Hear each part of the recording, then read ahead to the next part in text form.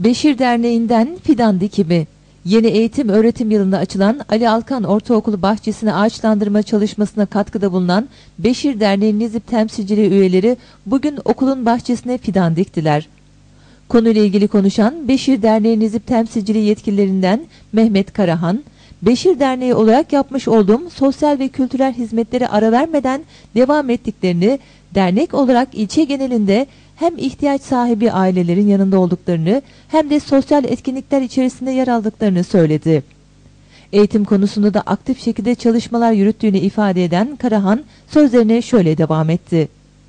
Ee, bizim Beşir Derneği olarak yapmış olduğumuz sosyal kültürel hizmetlerin biri de olan daha önceleri ihtiyaç sahiplerinin gıda ve ihtiyaçlarını karşıladığımız gibi ve ülkemize gelen komşumuz, dindaşlarımız, Suriyelilerin ihtiyaçlarına derman olduğumuz gibi ilçemizde de eğitim öğretimin başında ihtiyaç sahibi olan öğrencilerimize ve okullara kırtasiye yardımı ile değerlendirme yapmış olduk.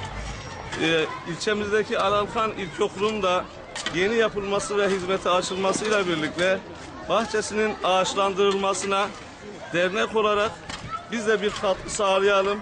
Okulumuz güzelleşsin, çevre güzelleşsin diye böyle bir projeye imza attık ve okulumuzun ağaçlandırılmasına Beşir gönüllüleriyle birlikte bugün bu hizmeti de yapmış bulunmaktayız.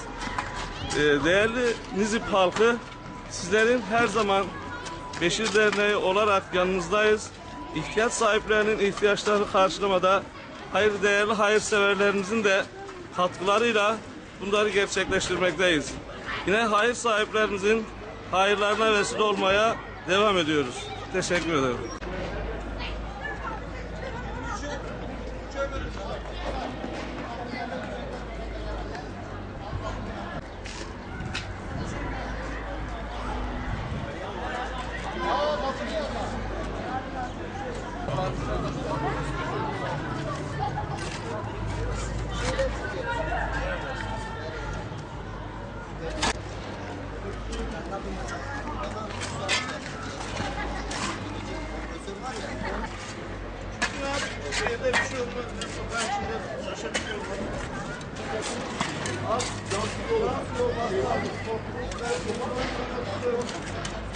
Hemen su verirsin.